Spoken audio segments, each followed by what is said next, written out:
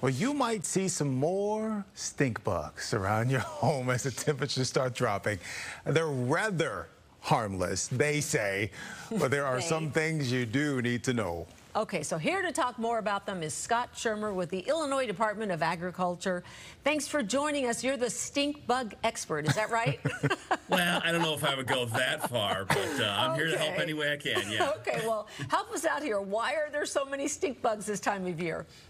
Well, it's interesting. They're actually it's not like they're they're they're increasing in numbers or anything right now. Just as the temperatures decrease, they look to try and overwinter inside. So we're just seeing more of more of them come toward us at this time. So they're looking to get indoors, get out of the cold like many of us mm. and and uh, basically hibernate or overwinter in our warm houses and shelters. Uh, way to make them relatable. They just want to get out of the cold. I get it. Uh, we said they're rather harmless. Besides the odious stinks, you know, do they bite? Do they cause any health issues? Are they harmful to our pets or anything? No, there's there's nothing we need to worry about as far as them getting into our houses and causing any damage or, or harm to us. They're they're agricultural and plant pests, so we do see some damage incurred on on some crops and, and orchards. Um, but really, there's nothing to worry about as far as the human health or animal health, or even they probably won't even bother your plants indoors. They're just coming in to try and stay warm and, and basically hibernate like a bear. Oh, well, that does not make me happy because they're not the prettiest bugs to see, right? So if you find them in your house, what should you do to get rid of them? Should you use bug spray on them? Um, is there something that you can do to, to cut down the likelihood of that?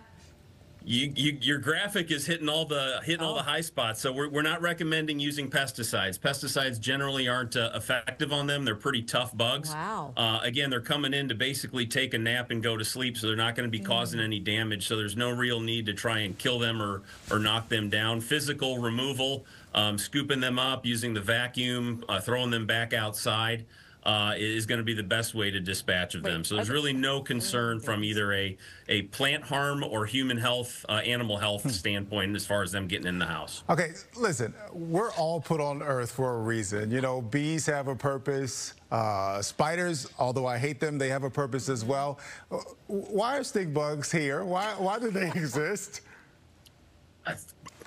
You stump me. Okay. I, yeah, I mean, I don't know. They're mm -hmm. they're pests. Um, they are. They stink, so nothing really wants to yeah. eat them. You know, they're invasive species, so they came here, and there's nothing that keeps them in check. Huh. But we do have native stink bugs as well, so um, there must be something out there as far as why they're here. But to me, I, I, really can't tell you. Okay, they're not multiplying when they get in our house, are they? Are they having babies? Oh no, not the no, brown chicken wow no. wow. Again, they're just they're basically going into hibernate. So yeah, they oftentimes they will wake up because of the temperatures being warm in the house, and, and it does bring them back up out of the out of the hibernation. But they're not going to be mating or making any more. Just Thank scoop goodness. them up, throw them back outside, or flush them down the toilet. We will definitely do that.